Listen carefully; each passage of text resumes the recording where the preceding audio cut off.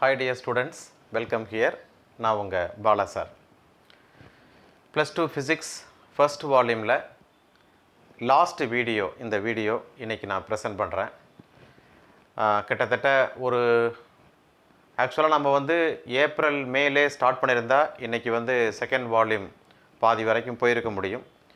But நான் கொஞ்சம் லேட்டாக தான் இந்த வீடியோ வந்து ஸ்டார்ட் பண்ணேன். அதாவது இப்போ ஆரம்பிச்சிரும் அப்போ ஆரம்பிச்சிருங்கிற ஒரு மைண்ட் செட்டில் இருந்ததுனால வீடியோ ஸ்டார்ட் பண்ணுறது கொஞ்சம் லேட் ஆச்சு. ஸோ ரெண்டு மூணு டீச்சர்ஸ் வந்து இதை நீங்கள் ஸ்டார்ட் பண்ணுங்கள் நிறைய ஸ்டூடெண்ட்ஸ் வந்து படிக்கிறது கஷ்டப்படுறாங்க அப்படின்னு சொன்னதுனால உடனடியாக ஐ திங்க் ஜூலை எண்டில் நான் ஸ்டார்ட் பண்ண நினைக்கிறேன். ஆகஸ்ட்டு செப்டம்பர் அக்டோபர் ஒரு த்ரீ மந்த்ஸில் ஃபஸ்ட்டு வால்யூமை ஃபுல்லாக எந்த இடத்துலையும் எந்த கான்செப்டையும் மிஸ் பண்ணாமல் ஒரு கான்செப்டை கூட நம்ம ஸ்கூலில் டீச் பண்ணும்போது நார்மலாக ஃபிசிக்கலாக டீச் பண்ணும்போது கூட சில சமயம் இந்த கான்செப்டை நீங்கள் ஒரு கிளான்ஸ் பார்த்துக்கங்க அப்படின்னு கூட நம்ம ஸ்கிப் பண்ணி போக முடியும். இந்த இதெல்லாம் ஒரு கிளான்ஸ் பார்த்துங்க டவுட் இருந்தால் கேளுங்க அப்படின்னு நம்ம சொல்ல முடியும். ஆனால் இப்போ கம்ப்ளீட்டாக வந்து ஸ்டூடெண்ட்ஸ் வந்து வெர்ச்சுவலாக படிக்கக்கூடிய ஒரு காலகட்டம் அப்படிங்கிறதுனால எல்லா பாயிண்ட்டையுமே வந்து எல்லா சைடு ஹெட்டிங்ஸையுமே நம்ம டச் பண்ணிட்டு போக வேண்டிய ஒரு கட்டாயம். அதனால் வந்து புக்கை அப்படியே வந்து வீடியோவாக நம்ம கன்வெர்ட் பண்ணியிருக்கோம் அப்படின்னு தான் நம்ம சொல்ல முடியும். ஸோ இதில் வந்து பார்த்தீங்கன்னா நீங்கள் உங்களுடைய சப்போர்ட்டு ரொம்ப அதாவது நாங்கள் பார்த்தீங்கன்னா நான் யூடியூப் கிளாஸ் ஸ்டார்ட் பண்ணது ஒரு டூ இயர்ஸ் பேக் வந்து ஸ்டார்ட் பண்ணேன். ஸோ அப்போல்லாம் வந்து பார்த்தீங்கன்னா சப்ஸ்கிரைபர்ஸ் சேஞ்ச் வந்து பெரிய அளவுக்கு இருக்காது. ஸோ ஒரு வீடியோ போட்டோம்னாக்க மேக்ஸிமம் ஒரு ஐம்பது பேர் நூறு பேர் அப்படி பார்ப்பாங்க. சப்ஸ்கிரைபர்ஸ் பார்த்தீங்கன்னா ரொம்ப கம்மியாகவே இருப்பாங்க. ஸோ சப்ஸ்கிரைபர்ஸ்க்காக நான் வீடியோ பண்ணலை. அட் த சேம் டைம் ஒரு பெருசாக வந்து ரீச் ஆகலை அப்படிங்கிற மாதிரிலாம் நான் எனக்கு ஒரு ஃபீல் இருந்துச்சு. ஆனால் வந்து நான் இந்த வீடியோஸ் இந்த சீசனில் நம்ம போடும்போது நிறைய வந்து மாணவர்கள் வந்து பயன்படுத்த ஆரம்பித்தாங்க நல்ல ரீச் கிடச்சிது. ஒரு நாளைக்கு வந்து ஒரு ரெண்டு சப்ஸ்கிரைபர் மூணு சப்ஸ்கிரைபர் நமக்கு வர்றாங்க அப்படின்னா அது ஒரு பெரிய ஒரு எனர்ஜெட்டிக்கான ஒரு விஷயமாக நான் பார்த்தேன். ஸோ அதுதான் நான் வந்து கண்டினியூவஸாக ஒவ்வொரு நாளும் வந்து நான் வந்து வீடியோவை ப்ரிப்பேர் பண்ணி உங்களுக்கு ப்ரெசன்ட் பண்ணுறதுக்கு என்னால் முடிஞ்சது. ஸோ இந்த வீடியோ ப்ரிப்பரேஷன் அப்படிங்கிறது அது நான் இன்னொரு நாள் வந்து உங்கள்கிட்ட ஃப்ரீயாக பேசுகிறேன் so it is not a simple task ஏன்னா வந்து இது எப்படி நீங்கள் கல்வி தொலைக்காட்சி அந்த மாதிரி டிவி சேனல்லாம் எப்படி ஒரு ப்ரோக்ராம் பார்க்குறீங்களோ அந்த மாதிரி தான் இதுவும்.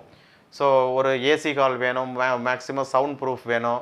அதுக்கப்புறம் ஆனால் நான் ஒரே ஒரு விஷயம் நான் பண்ணுறதில்ல எடிட்டிங் பண்ணுறதில்ல ஸோ எடிட்டிங் நான் உட்காந்து அதுக்கு மெனக்கட்டு எல்லாத்தையும் பண்ணேன்னா அது it will take some more time அதனால் வந்து நான் என்னால் ஈஸியாக வந்து இப்போ நீங்கள் கவனிச்சிருப்பீங்க சில ஸ்டூடெண்ட்ஸ் நீங்கள் பார்த்துருக்கலாம். ப்ளஸ் ஒன்றுக்குமே இப்போ சைமில்டேனியஸாக நான் வந்து இந்த டியூ கோர்ஸ் நான் வீடியோ பண்ணியிருக்கிறேன் கிட்டத்தட்ட பார்த்தீங்கன்னா அவங்களுக்குமே வந்து நான் வந்து ஃபோர்த்து சாப்டர் முடித்து ஃபிஃப்த்து சாப்டரில் பாதி போயிட்டுருக்கிறேன். ஸோ சைமில்டேனியஸாக அவங்களுக்கும் பண்ணேன். ஸோ ஒன் மந்த்து கழித்து அவங்களுக்கு ஆரம்பித்தேன் அதனால் அவங்களுக்கும் இப்போ ஃபிஃப்த்து சாப்டர் முடிக்க போகிறேன் ஸோ உங்களுக்கு இன்னையோட இந்த ஃபர்ஸ்ட் வால்யூமை வந்து நம்ம முடிச்சிடலாம். ஸோ நம்ம கண்டிப்பாக ஃபஸ்ட்டு வால்யூமில் இருக்கக்கூடிய எல்லா ப்ராப்ளம்ஸுமே கண்டிப்பாக டிஸ்கஸ் பண்ணுவோம். நீங்கள் எக்ஸாமினேஷன் எழுத போகிறதுக்கு முன்னாடி என்னுடைய ப்ராப்ளம்ஸ் டிஸ்கஷன் வீடியோஸ் வந்து கண்டிப்பாக உங்களை தேடி வந்துடும் கவலைப்படாதீங்க. ஸோ இதில் வந்து சில வீடியோஸ் வந்து நான் வந்து பண்ணும்போது நான் ஃபீல் பண்ணுவேன். ஆஃப்டர் டேக்கிங் த வீடியோ இந்த பாயிண்ட்லாம் சொல்லியிருக்கலாமோ அப்படின்னு சொல்லிட்டு சொல்ல நினச்சி பார்ப்பேன். அதுக்கப்புறமா அடுத்த வீடியோவில் அதை வந்து டேக் பண்ணி சொல்லுவேன். இருந்தாலும் சம் வீடியோஸ் வந்து என்னால் பெரிய அளவுக்கு பண்ண முடியாமல் போயிருக்கும். அது நானே வந்து ரியலைஸ் பண்ணியிருப்பேன் அதுக்கு காரணம் வந்து என்ன அப்படின்னா நம்ம வந்து எடுக்கிற கிளாஸ் வந்து பசங்க முன்னாடி எடுக்கலை. ஸோ வெர்ச்சுவலாக எடுக்கிறோம். ஸோ அதில் எவ்வளவு வந்து இன்ட்ராக்ஷன் இல்லாமல் நம்ம வந்து கிளாஸ் எடுக்கிறோம் அப்படிங்கும்போது அது நம்ம வந்து சம்டைம்ஸ் வந்து ஒரு ஃபார்ட்டி மினிட்ஸ் வீடியோ எடுக்கும்போது டுவெண்ட்டி மினிட்ஸுக்கு அப்புறம் நம்மளே வந்து ஃபிசிக்கலாக வீக் ஆயிடுவோம் ஸோ அப்படி வீக் ஆகும்போது நம்ம வந்து கண்டிப்பாக ஏதோ ஒரு ஸ்டெப்பில் வந்து ஒரு ப்ளஸ் மைனஸ் வந்து நம்ம மிஸ்டேக் பண்ணும்போது நமக்கு பாயிண்ட் அவுட் பண்ணுறதுக்கு ஆள் கிடையாது. ஸோ கிளாஸ் ரூமாக இருந்ததுன்னா ஸ்டூடெண்ட் வந்து நீங்கள் என்ன பண்ணுவீங்கன்னா பாயிண்ட் அவுட் பண்ணுவீங்க. சார் இந்த இடத்துல ப்ளஸ் வரும் சார். சார் இந்த இடத்துல ஸ்கொயருக்கு பதிலாக கியூ போடுறீங்க சார். இந்த இடத்துல வந்து ஐ கேப் வரும் சார். ஜே கேப் வரும் சார். அந்த மாதிரி நீங்கள் பாயிண்ட் அவுட் பண்ணிங்கன்னா immediately we will correct it ஆனால் இங்கே என்ன பிரச்சனை வரும் அப்படின்னா ஒரு த்ரீ ஃபோர் ஸ்டெப்ஸ் மு முடிச்சு கிட்டத்தட்ட ரிசல்ட்டுக்கு முன்னாடி ஒரு ரெண்டு ஸ்டெப்பில் நிற்கும் போது தான் ரிசல்ட் வரலைங்கிறத நம்ம வந்து ஐடென்டிஃபை பண்ண முடியும். ஸோ அதுக்கப்புறம் நம்ம என்ன பண்ணணும்? அதுக்கப்புறம் நம்ம வந்து ரீடேக் எடுக்கணும். ஸோ அதுக்கெல்லாம் நம்ம போகாமல் பரவாயில்ல நம்ம ஸ்டூடெண்ட்ஸ் தான் அக்செப்ட் பண்ணிப்பாங்க அப்படிங்கிறதுக்காக நம்ம என்ன பண்ணியிருக்கோம் திரும்ப அதை வந்து ரப் பண்ணிவிட்டு ஸோ ஃபஸ்ட்லேருந்து நம்ம போய் எடுத்திருப்போம் ஸோ ரீடேக் எடுத்து நம்ம வந்து அதை மெர்ஜ் பண்ணி அதை எடிட்டிங் போகாமல் அந்த ஃபிசிக்கலாக நம்ம கிளாஸ் ரூமில் என்னெல்லாம் மிஸ்டேக் பண்ணுவோம் எப்படிலாம் கிளாஸ் இருக்கும் அப்படிங்கிற மாதிரி தான் நான் வந்து கொடுத்துருப்பேன். ஸோ அதுக்காக நான் பெரிய அளவுக்கு எடிட்டிங் ஒர்க் பார்க்கல. ஸோ இந் எடுக்கக்கூடிய கிளாஸே வந்து ஃபிசிக்கலாக லைவாக பசங்களுக்கு வந்து நார்மலாக ஒரு கிளாஸ் ரூமில் அவனுடைய டீச்சர் வந்து எப்படி நடத்துவாங்க அப்படிங்கிறது மாதிரி தான் நான் இது வரைக்கும் பண்ணியிருக்கேன். மோஸ்ட்லி நல்ல நிறைய ஸ்டூடெண்ட்ஸ் வந்து 95% ஃபைவ் பர்சன்ட் வந்து வீடியோஸ் வந்து கிளாரிட்டி இருக்குது சார் புரியுது சார் பாடம் அப்படிங்கிற மாதிரி சொல்லியிருக்கிறீங்க. நிறைய சப்போர்ட் கொடுத்துருக்கீங்க. அதனால் உங்களுக்கு ரொம்ப பெரிய மனமார்ந்த நன்றிகளை தெரிவிச்சுக்கிறேன். அதுக்கப்புறம் உங்கள் டீச்சர்ஸ் அவங்க தான் வந்து உங்கள்கிட்ட கொண்டு வந்து சேர்த்துருப்பாங்க. ஸோ அவங்க இல்லைன்னா இந்த ரீச் வந்திருக்காது. ஸோ டீச்சர்ஸுக்கு நான் வந்து ரொம்ப கடமைப்பட்டிருக்கேன். எல்லா இயற்பியல் ஆசிரியர் பெருமக்களுக்கும் என்னுடைய பணிவான வணக்கங்களும் நன்றிகளும். நீங்கள் இல்லைன்னா பசங்களுக்கு போய் சேர்ந்துருக்காது. பசங்க வந்து யூட்டிலைஸ் பண்ணியிருக்க மாட்டாங்க. அதனால் ஒரு பக்கம் ஸ்டூடெண்ட்ஸ் ஒரு பக்கம் டீச்சர்ஸ் ரெண்டு பேரும் இந்த வேலையை செய்கிறதுக்கு எனக்கு ஆக்கப்பூர்வமான வழிகாட்டுதல்களும் ஆக்கப்பூர்வமான பாராட்டுகளும் கொடுத்ததுனால இன்றைக்கி தொடர்ந்து உங்கள் முன்னாடி நின்று நம்ம பேச முடியுது. இன்னும் அடுத்த லெவலுக்கு எடுத்துகிட்டு போக முடியுது. ஸோ இந்த வீடியோ உங்களுக்கு வால்யூம் ஒன்னுக்கு லாஸ்ட் வீடியோவாக இருக்கும். ஸோ நம்மளோட அடுத்த செஷன் வந்து வால்யூம் டூவில் ஸ்டார்ட் பண்ணுறோம் ஸோ முடிஞ்ச வரைக்கும் நம்ம எக்ஸாமினேஷன் வந்து எப்படி இருக்கும் அப்படிங்கிறதெல்லாம் தெரியாது. இருந்தாலும் நம்ம வேலையை நம்ம கடமையை நம்ம செஞ்சுக்கிட்டே இருப்போம் அப்படிங்கிறதான் பாயிண்ட்டு தொடர்ந்து பாருங்கள் சப்ஸ்கிரைப் பண்ணாத ஸ்டூடெண்ட்ஸு சப்ஸ்கிரைப் பண்ணுங்கள் இது வரைக்கும் படிக்காத ஸ்டூடெண்ட்ஸ் கூட நீங்கள் கவலைப்பட வேண்டியதில்லை. இப்போயிலிருந்து கூட நீங்கள் ஃபஸ்ட் லெசனில் ஃபஸ்ட் வீடியோவில் ஸ்டார்ட் பண்ணி படித்தா கூட நிச்சயமாக நீங்கள் நல்ல ஸ்கோர் பண்ண முடியும். ஏன்னா நீங்கள் ஒவ்வொரு முறையும் உங்களுக்கு டீச்சர் வந்து ஃபிசிக்கலாக சொல்லித்தர முடியாது. ஒரு முறை தான் சொல்லித்தர முடியும். ஒரு தடவை ஒரு தடவை டீச் பண்ண முடியும். ஆனால் இந்த வீடியோ டாக்குமெண்ட்டு நீங்கள் ஒரு கண்டென்ட்டை நீங்கள் எத்தனை முறை வேணாலும் திருப்பி திருப்பி உங்களுக்கு புரிகிற வரைக்கும் நீங்கள் பார்த்துக்க முடியும் பயன்படுத்திக்க முடியும். ஸோ அதனால் இந்த வாய்ப்பை நீங்கள் சரியாக பயன்படுத்தி எல்லா ஸ்டூடெண்ட்ஸும் நல்லா படித்து நல்ல முன்னேற்றமான நிலைமைக்கு வந்தீங்கன்னா அதுவே எனக்கு மிகப்பெரிய சந்தோஷமாக இருக்கும் அப்படிங்கிறத நான் உங்ககிட்ட ஷேர் பண்ணிக்கிறேன். இன்றைக்கி இந்த வீடியோ வந்து ஒரு பெரிய டிஃபிகல்ட்டான கண்டென்ட் கிடையாது. அதனால தான் நம்ம லைட்டாக இதை கொண்டு போகிறோம் ஸோ ஆல்ரெடி வந்து நம்ம நிறமாலையை பற்றி படிச்சிருக்கோம். குறிப்பாக மின்காந்த நிறமாலை எலக்ட்ரோ மேக்னட்டிக் வேவ்ஸ் என்னென்ன இருக்குது அப்படிங்கிறத பற்றி நம்ம சொல்லியிருக்கிறோம். ஸோ ரேடியோ வேவ்ஸ் ஆகட்டும் எக்ஸ்ரே ஆகட்டும் அல்ட்ரா வயலட்டு இன்ஃப்ராரெட்டு இப்படி நிறைய காமா கதிர்கள் கண்ணுறு ஒளி இப்படி நிறைய மின்காந்த அலைகளை பற்றி நம்ம படிச்சிருக்கிறோம். அதையெல்லாம் நம்ம வந்து மின்காந்த நிறமாலைன்னு சொல்கிறோம் ஸோ மின்காந்த நிறம் பொதுவாகவே ஸ்பெக்ட்ரம் நிறமாலை அப்படின்னா என்னென்னா அலைநீளங்களுடைய தொகுப்பு அல்லது அதிர்வெண்களுடைய தொகுப்பு அப்படின்னு சொல்லுவோம். So systematic arrangement of ascending or descending arrangement of wave length or frequencies அதுதான் வந்து நம்ம ஸ்பெக்ட்ரம் அப்படின்னு சொல்லுவோம். பொதுவாக நிறமாலை என்பது எத்தனை அலைகள் இருந்தாலும் சரி எத்தனை அலைநிலங்கள் இருந்தாலும் சரி அதை வரிசைப்படி அடுக்கி சொல்லிட்டோம் அப்படின்னா அலைநிலங்களுடைய ஏறுவரிசையிலோ அல்லது அதிர்வெண்களுடைய ஏறுவரிசையிலோ சொன்னோம்னா அதுதான் நிறமாலைன்னு சொல்கிறோம் பொதுவாக வந்து நிறமாலை எப்படி கிடைக்கும் அப்படின்னா பொதுவாக ஜென்ரலாக வந்து பார்த்திங்கன்னா ஒரு உயர்ந்த வெப்பநிலையில் இருக்கக்கூடிய பொருள் வந்து நிறமாலையை கொடுக்கும். ஸ்பெக்ட்ரம் வந்து கொடுக்கும். ஃபார் எக்ஸாம்பிள் நம்ம வீட்டிலே பார்க்குறோம்.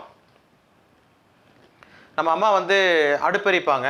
அதில் வந்து விறகு வந்து என்னவா மாறும்னா அப்படியே வந்து எரிஞ்சிக்கிட்டே இருக்கும் இல்லையா? அந்த உள்ளுக்குள்ளே வந்து பார்த்தீங்கன்னா அந்த கறி வந்து அதை வெண்தழல்னு சொல்லுவோம். வெண்தழல் இன்கேண்டசன்ட் மெட்டீரியல்பாங்க அது பார்த்தீங்கன்னா அப்படியே கலர்ஃபுல்லாக இருக்கும். ரெட்டிஷாக இருக்கும் ஆரஞ்சாக இருக்கும் ப்ளூயிஷாக இருக்கும்.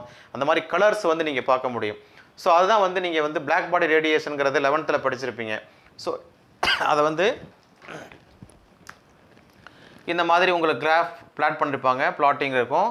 ஸோ லேம்டா வந்து அலைநிலத்தை வந்து எக்ஸ்ஹெச்சிலும் இன்டென்சிட்டியை வந்து ஒய்ஹெச்சிலும் போட்டு என்ன பண்ணியிருப்பாங்க ஒவ்வொரு டெம்பரேச்சர்லையும் இந்த மாதிரி அந்த இன்டென்சிட்டி வந்து ஸோ இது ஒரு டெம்பரேச்சர் இருக்கும் இது ஒரு டெம்பரேச்சர் இது ஒரு டெம்பரேச்சரில் ஒவ்வொரு வெப்பநிலையிலும் அலைநிலத்தை பொறுத்து செறிவு எப்படி மாறுபடுகிறது பிரைட்னஸ் எப்படி மாறுபடுகிறது அப்படிங்கிறத பிளாக் பாடி ரேடியேஷனில் லெவன்த்தில் நீங்கள் படிச்சிருப்பீங்க. படிக்காட்டி ஜஸ்ட் வந்து லெவன்த்து புக்கை வாங்கி ஒரு ரெஃபரன்ஸ் பாருங்கள் ஸோ உயர்ந்த வெப்பநிலையில் இருக்கக்கூடிய பொருள்கள் நமக்கு ஒரு நிறமாலையை கொடுக்குது அப்படிங்கிறத நம்ம பார்ப்போம்.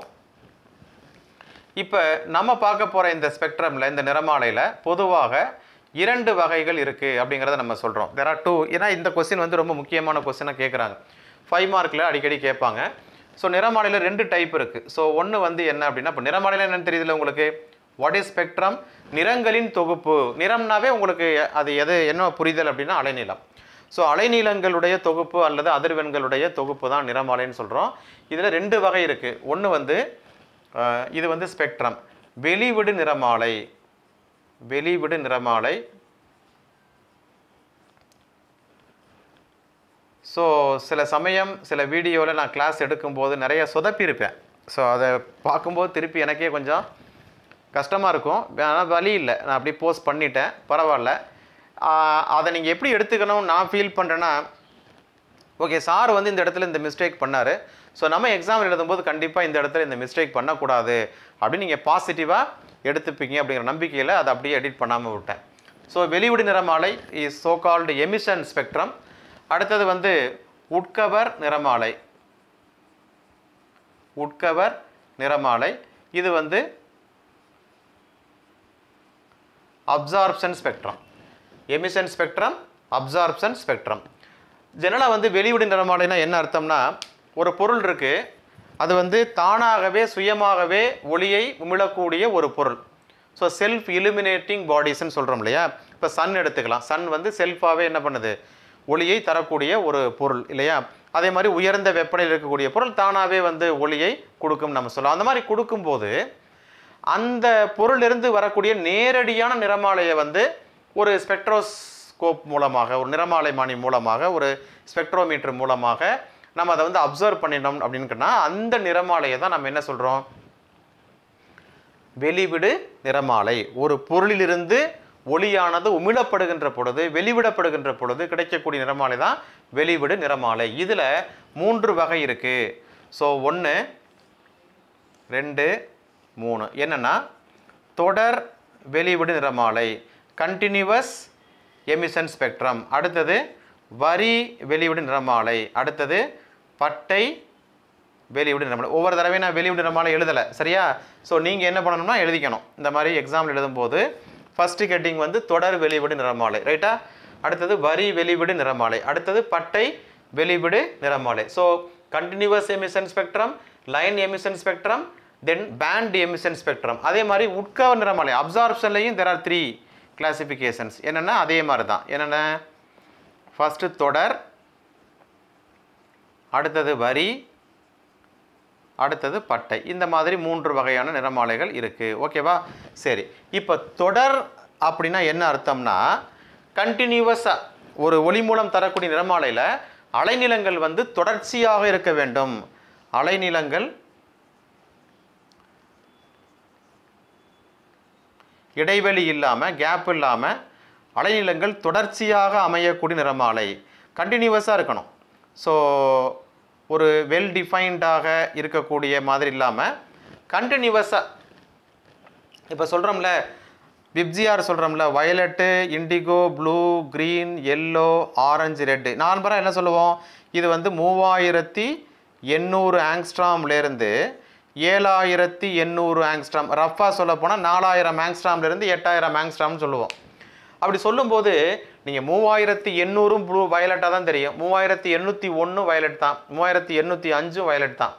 ஸோ கண்டினியூவஸாக இருக்கும் அந்த அந்த கலர் வந்து. அதே மாதிரி இப்போ நீங்கள் ஐயாயிரத்தி அறநூறு வந்து பார்த்தீங்கன்னா க்ரீனு ஐயாயிரத்தி எண்ணூற்றி தொண்ணூறு வந்து எல்லோ ஸோ தொண்ணூறு தொண்ணூற்றி ஒன்று தொண்ணூத்தஞ்சு தொண்ணூத்தெட்டு இது எல்லாமே கிட்டத்தட்ட எல்லோவாக தான் இருக்கும். ஸோ வேவ் லெங்த் வந்து வைரட்லேருந்து ரெட்டு வரைக்கும் பார்த்தீங்கன்னா உங்களுக்கு கண்டினியூவஸாக இருக்கும். ஸோ இதுக்கு எக்ஸாம்பிள்ஸ் வந்து என்ன சொல்லுவீங்க அப்படின்னா கார்பன் ஆர்க் லேம்ப் கார்பன் வில் விளக்கு அப்புறம் உயர் வெப்பநிலையில் இருக்கக்கூடிய திடப்பொருள் திடப்பொருளாக இருந்தாலும் சரி அது திரவ பொருளாக இருந்தாலும் சரி ஹை டெம்பரேச்சரில் இருந்துச்சுன்னா அது வந்து கண்டிப்பாக தொடர்ச்சியான நிறமாலையை நமக்கு கொடுக்கும். ஓகே அடுத்தது இது வந்து பார்த்தீங்கன்னா வரையறுக்கப்பட்ட லேம்டா வரையறுக்கப்பட்ட லேம்டா அதாவது வரையறுக்கப்பட்ட அலைநிலத்தை கொண்டது. ஸோ இதில் வந்து பின் பாயிண்ட்டாக சொல்லிடலாம் நம்ம. இதுதான் வேவ் லெங்க்த்து இருக்கும் அப்படிங்கிற மாதிரி நம்ம சொல்லிடலாம். இது வந்து அப்படி இருந்துச்சு அப்படின்னா அது வந்து வரி வெளிவிடு நிறமாலின்ஸ் இப்போ ஹைட்ரஜனுடைய ஸ்பெக்ட்ரல் லைன்ஸை வந்து நம்ம சொல்கிறோம் ஹைட்ரஜன் இது பொதுவாக வந்து இந்த வரி வெளிவிடு நிறமாலையை வந்து யார் கொடுக்குறாங்க அப்படின்னா கிளர்ச்சி நிலையில் இருக்கக்கூடிய வாயுவினுடைய அணுக்கள் excited atoms of a gaseous material புரியுதா? கிளர்ச்சி நிலையில் இருக்கக்கூடிய வாயுவில் இருக்கக்கூடிய அணுக்கள். அதுதான் வந்து என்ன கொடுக்குது? இந்த வரி நிறமாலை கொடுக்கும். ஃபார் எக்ஸாம்பிள் இப்போ ஹைட்ரஜனுடைய ஸ்பெக்ட்ரல் லைன்ஸு ஹீலியம்ஸோட ஸ்பெக்ட்ரல் லைன்ஸு இப்போ ஹைட்ரஜனில் வந்து பார்த்தீங்கன்னா H alpha H beta H gamma H delta அப்படின்லாம் இருக்குது ஒவ்வொரு இப்போ ஹெச் ஆல்ஃபானா ஹெச் ஆல்ஃபாவுக்கு ஒரு டிஃபைன்டு வேவ் லெங்க் இருக்குது ஒரு வரையறுக்கப்பட்ட அலைநிலம் இருக்குது அதே மாதிரி சோடியம் ஸ்பெக்ட்ரல் லைன்ஸில் வந்து சொல்லுவாங்க. சோடியத்துக்கு வந்து ரெண்டு ஸ்பெக்ட்ரல் லைன் இருக்குது இப்போ அது ஒன்று ஐயாயிரத்தி எண்ணூற்றி தொண்ணூறு ஒன்று ஐயாயிரத்தி எண்ணூற்றி தொண்ணூற்றி ஆறு ஒன்று அப்படி சொல்லுவாங்க. அந்த மாதிரி நன்கு வரையறுக்கப்பட்ட அலைநிலங்களை கொண்ட அந்த மாதிரியான நிறமாலைக்கு பேர் என்னது? வரி வெளிவிடு நிறமாலைன்னு சொல்லுவோம். இதுக்கு எக்ஸாம்பிள் இது யார் கொடுக்குறா?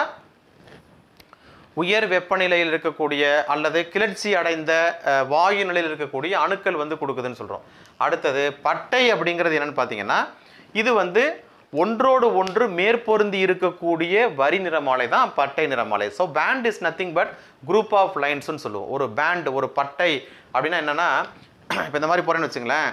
இப்படி போடுறேன். இது ஒரு பேண்டுனா இந்த பேண்டில் வந்து நிறைய லைன்ஸ் இருக்கும் விச் ஆர் வெரி க்ளோஸ் நீங்கள் வந்து ஒரு ஹைட் அல்ட்ரா ஹை ரிசால்விங் பவர் இருக்கக்கூடிய ஒரு மைக்ரோஸ்கோப் வச்சு நீங்கள் பிரித்து பார்த்தீங்கன்னா நீங்கள் அதில் என்ன இருக்கிறதா கண்டுபிடிப்பீங்க? நீங்கள் வந்து நிறைய லைன்ஸ் வந்து குரூப்பாக இருக்குன்னு கண்டுபிடிப்பீங்க. So பேண்டுங்கிறது is nothing but a group of lines தான். ஒன்றோடு ஒன்று பொருந்தி இருக்கக்கூடிய வரிகளை வந்து நம்ம பட்டை நிறமாலைன்னு சொல்கிறோம் இதுவும் எமிஷன் டைப் ஸ்பெக்ட்ரம் தான். ஆனால் வந்து இதில் வந்து ஒன் சைடு வந்து பார்த்தீங்கன்னா நல்லா டார்க்காக இருக்கும். அதர் சைடு வந்து பார்த்திங்கன்னா ஃபேடிங் ஆகிருக்கும் ஸோ நான் இப்போ வந்து யூனிஃபார்மை போட்டிருக்கேன். ஆனால் இன்ஃபேக்ட் வந்து என்ன உண்மையிலே நிறமாலை எப்படி இருக்கும்னா ஒரு சைடு வந்து நல்லா நெருக்கமாக ஷார்ப்பாக நல்லா பிரைட்டாக இருக்கும். இன்னும் கொஞ்சம் தூரம் போக போக உங்களுக்கு வந்து என்ன ஆகும்? அந்த அந்த ரீஜன்லேருந்து தாண்டி போகிறப்போ உங்களுக்கு ஃபேட் ஆகிட்டே போகும் மங்கலாகிட்டே போகும். மூலக்கூறுகள். மாலிகூல்ஸ் தரக்கூடிய நிறமாலை வந்து என்னவா இருக்குது அப்படின்னு சொல்கிறாங்கன்னா பட்டை நிறமாலையாக இருக்கிறது அப்படின்னு சொல்கிறாங்க ஸோ இது எல்லாம் வந்து எமிஷன் ஸ்பெக்ட்ரத்துக்கான கிளாசிஃபிகேஷன் அடுத்தது அப்சார்ப்ஷன் ஸ்பெக்ட்ரம் இந்த அப்சார்ப்ஷன் ஸ்பெக்ட்ரம் அப்படின்னு ஒன்று வந்து நேரடியாக நம்ம பெற முடியாது. அதாவது என்னென்னா ஒரு பொருள் இருக்குது ஸோ இது பொருள்.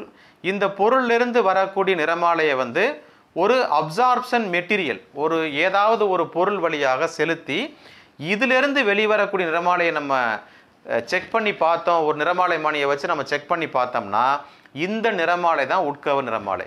ஸோ ஆக்சுவலாக வந்து இது என்னது? இது வெளிவிடு நிறமாலை.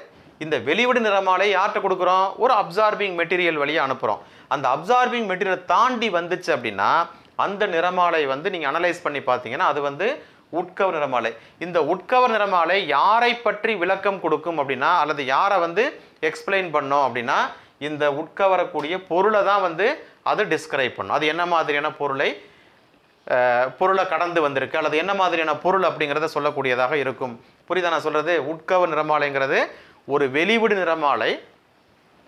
ஒரு பொருளிலிருந்து வெ- ஒரு நிறமாலை வெளிவிடப்படுது. அது வந்து ஒரு உட்கவரும் பொருள் வழியாக செலுத்தப்பட்டு அதற்கு பிறகு வரக்கூடிய நிறமாலை வந்து நம்ம அனலைஸ் பண்ணி பார்க்குறப்ப நமக்கு கிடைக்கக்கூடிய நிறமாலை வந்து என்ன சொல்லுவோம்? Yes we will call it as absorption spectrum இந்த அப்சார்ப்ஷன் ஸ்பெக்ட்ரத்தில் வந்து பார்த்தீங்கன்னா தெர் ஆர் த்ரீ டைப்ஸ் ஒன்று என்ன சொல்கிறாங்கன்னா தொடர் உட்கவர் நிறமாலை அப்படின்னு நம்ம சொல்கிறோம் இப்போ தொடர் உட்கவர் நிறமாலைனா உதாரணத்துக்கு ஒன்று சொல்கிறேன் பாருங்கள் இப்போ நான் வந்துட்டு ஒரு ப்ளூ கலர் கிளாஸ் மாட்டேன்னு வச்சுங்களேன் ஒரு ஊதா நிற கண்ணாடி போடுறேன். போட்டேன்னா என்னாகும்? எனக்கு எல்லாமே ப்ளூவாக தெரியும். சரியா? எப்படி தெரியுது? வெளியிலிருந்து வரக்கூடிய ஒளியானது அந்த ஊதா கண்ணாடி வழியாக உள்ளே போகிறப்ப அந்த ஊதா கண்ணாடி என்ன பண்ணிடுது எல்லா அலைநிலங்களையும் உட்கவர்ந்து கொண்டு ஊதா நிறத்தை மட்டும் என்னுடைய கண்ணுக்கு வந்து என்ன பண்ணுறது அனுமதிக்குது. ஸோ அப்போ நான் வந்து என்னென்னா வெளியில் இருக்கக்கூடிய ஒயிட் லைட்டை என்னால் பார்க்க முடியல. ஆனால் என்னால் ப்ளூ லைட்டை வந்து சென்ஸ் பண்ண முடியுதுன்னா அது எ எதை பொறுத்து இருக்குன்னா கண்ணாடியை பொறுத்து இருக்குது கண்ணாடி தான் இப்போ உட்கவரக்கூடிய பொருள். இப்போ நீங்கள் பச்சை கண்ணாடி போட்டிங்கன்னா பச்சை கலராக தெரியும். சிகப்பு கண்ணாடியை போட்டிங்கன்னா சிகப்பு கலராக தெரியும். அப்போ அது எதை சார்ந்திருக்கிறது? அந்த பொருளை சார்ந்திருக்கிறது. அப்போ என்ன பண்ணுதுன்னா தொடர்ச்சியான அலைநிலங்களில் எந்த அலைநிலம் உட்கவரப்படுகிறதோ அந்த பகுதியை நாம் அனலைஸ் பண்ணி பார்த்தோம்னா அந்த பகுதி கருமையாக தெரியும். இப்போ நீங்கள் விப்ஜிஆர்லேயே வெளியில் இருக்கிற லைட்டில் என்ன இருக்குது விப்ஜிஆர் இருக்குது ஆனால் எனக்கு அந்த கண்ணாடிக்கு அப்புறம் வரக்கூடிய லைட்டில் என்ன இல்லை? விப்ஜிஆர் கிடையாது. ப்ளூ கலர் மட்டும்தான் உள்ளே வரும். அப்போ மற்றதெல்லாம் என்ன ஆயிடுது பிளாக் ஆயிருது. அந்த இடம்லாம் வந்து நம்ம என்ன சொல்லுவோம்னா டார்க் அண்ட் அப்படின்னு சொல்லுவோம். அதனால் வந்து அது வந்து தொடர்ச்சியான உட்கவர் நிறமாலை. செலக்டிவாக ஒரு வேவ் லெங்க்த்தை மட்டும் உள்ளே அனுப்பும் அலோவ் பண்ணும். மற்றது எல்லாத்தையும் பிளாக் பண்ணி விட்டுரும். ஸோ அதுதான் வந்து தொடர் உட்கவர் நிறமாலைக்கு எடுத்துக்காட்ட நம்ம சொல்ல முடியும். அடுத்தது வரி உட்கவர் நிறமாலை லைன் அப்சார்ப்ஷன் ஸ்பெக்ட்ரம் இது என்ன அப்படின்னா எப்படி வந்து வரி வெளிவிடு நிறமாலையில் வந்து ஒரு நன்கு வரையறுக்கப்பட்ட வலைநிலங்கள் இருக்குன்னு சொல்கிறோமோ அதே மாதிரி வரி உட்கவ நிறமாலையும் அந்த பொருளை சார்ந்தது. ஃபார் எக்ஸாம்பிள் வந்து இப்போ கார்பன் ஆர்க் லேம்ப்லேருந்து லைட்டு வருது. கார்பன் ஆர்க் லேம்ப்லேருந்து கார்பன் வில் விளக்குலேருந்து வரக்கூடிய அந்த ஒளி வந்து என்ன நிறமாலையை பெற்றிருக்கும் அப்படின்னா தொடர் வெளியூடு நிறமாலையை பெற்றிருக்கும். அதை வந்து நீங்கள் இப்போ சோடியம் வேப்பர் லேம்ப் வழியாக அனுப்புனீங்கன்னா இன்ஃபேக்ட் வந்து சோடியம் வேப்பர் லேம்ப்லேருந்து கிடைக்கக்கூடியது வந்து லைன் ஸ்பெக்ட்ரம் தான் கிடைக்கும்.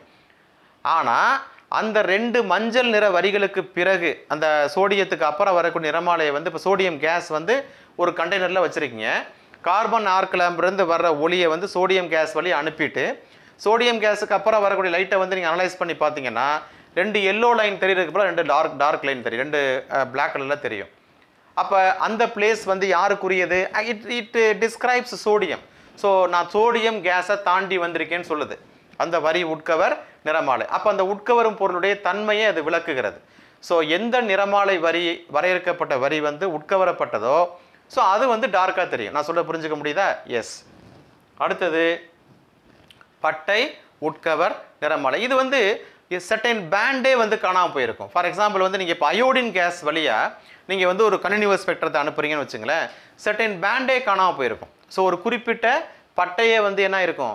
காணாமல் போயிருக்கும். அந்த இடம் வந்து டார்க்காக தெரியும். ஸோ அதை வந்து it depends on the absorbing materials depends on the molecules அப்படின்னு நம்ம சொல்ல மூலக்கூறுகள் அப்படின்னு நம்ம சொல்ல முடியும். ஸோ இதுதான் நிறமாலையில் நம்ம ஜெனரலாக பார்க்கக்கூடிய கிளாசிஃபிகேஷன்ஸ் அப்படிங்கிறத நீங்கள் தெரிஞ்சுக்கணும். ஸோ இன்னும் ஒரே ஒரு முக்கியமான ஒரு கான்செப்டோட முடிச்சுக்கலாம்.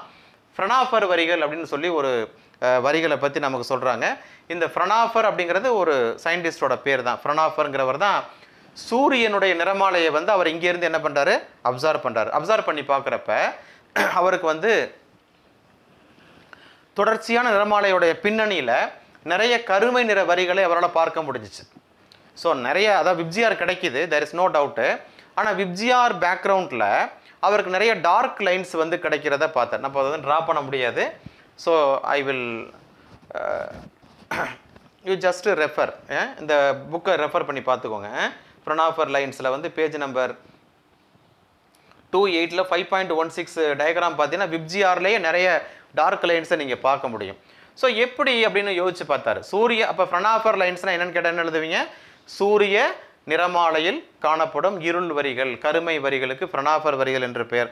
ஆக்சுவலாக சூரியனுடைய நிறமாலை நம்ம சொல்கிறோம் வெளிவிடு நிறமாலைன்னு இன்ஃபேக்ட் வந்து அது வந்து வரி உட்கவர் நிறமாலை லைன் அப்சார்ப்ஷன் ஸ்பெக்ட்ரம் ஏன்னா சம் செலக்டட் வேவ் லெங்க் வந்து அப்சார்ப் ஆயிடுது ஏன்னா சூரியனுடைய வெளிக்கோளம் என்று சொல்லக்கூடிய அந்த குரோமோஸ்பியரில் நிறைய கேஸஸ் இருக்குது நிறைய வாயுக்கள் அயனி நிலையில் இருக்குது ஸோ அந்த பொருள்களுடைய தன்மைக்கு ஏற்றவாறு அது என்ன பண்ணுது?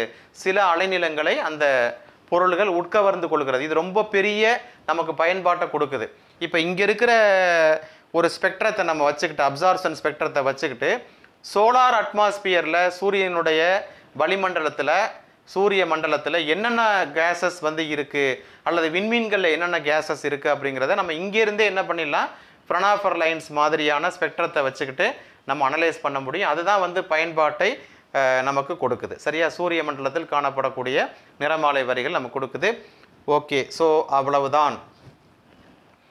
இந்த நிறமாலையினுடைய வகைப்பாடுகளோடு நம்ம இந்த வால்யூம் ஒன்னை வந்து சக்ஸஸ்ஃபுல்லாக நிறைவு செய்கிறோம் அப்படிங்கிற ஒரு சாட்டிஸ்ஃபேக்ஷன் எனக்கு இருக்குது ஸோ அடுத்த கிளாஸில் நான் வால்யூம் டூவோட உங்களை சந்திக்கிறேன். ஸோ வால்யூம் டூவை நீங்கள் படிக்கும்போது வால்யூம் ஒன்னை நீங்கள் டச்சில் வச்சுக்கணும். ஒவ்வொரு நாளும் ஏதாவது ஒரு வீடியோவை உங்கள் டீச்சர்ஸ் இன்ஸ்ட்ரக்ஷன் கொடுக்கும்போது அதை ஃபாலோ பண்ணி அவங்களுக்கு டெஸ்ட் எழுதி கொடுத்து நீங்கள் தொடர்ந்து படிங்க. ஸோ நீங்கள் படிக்கிறதோட மட்டும் இல்லாமல் உங்கள் தெரிந்த நண்பர்களுக்கு ஃப்ரெண்ட்ஸுக்கு ஷேர் பண்ணுங்கள் இந்த மாதிரி நான் வீடியோஸ் இருக்குது பார்க்குறேன் படிக்கிறேங்கிற விஷயத்த சொல்லுங்கள் அவங்களும் பயன்படட்டும். அடுத்து வரக்கூடிய அடுத்த வருஷம் வரக்கூடிய லெவன்த்து ஸ்டூடெண்ட்ஸு உங்கள் ஃப்ரெண்ட்ஸுகள் இருந்தாலும் ஏ லெவன் சார் வந்து லெவன்த்து வீடியோஸும் கொடுக்குறாங்க. அதை பார்த்தியா படிச்சியா அப்படிங்கிற மாதிரி நீங்கள் கேளுங்கள் ஸோ நம்மளால் முடிஞ்ச ஒரு நாலு பேருக்கு இந்த நன்மையை வந்து நம்ம செய்கிறோம் எப்படி வந்து நான் வந்து எந்த விதமான பிரதிபலனும் பார்க்காம இந்த வேலையை நான் செஞ்சுக்கிட்டு இருக்கணும் ஒரு சர்வீஸாக நான் செய்கிறனோ அதே மாதிரி உங்களால் முடிஞ்ச வரைக்கும் இதை அடுத்தவங்களுக்கு எடுத்துகிட்டு போகணும் அப்படிங்கிறத உங்களை அன்போடு நான் வந்து ரிக்வஸ்ட் பண்ணி கேட்டுக்கிறேன். கீப் வாட்சிங் தேங்க்யூ ஸோ மச்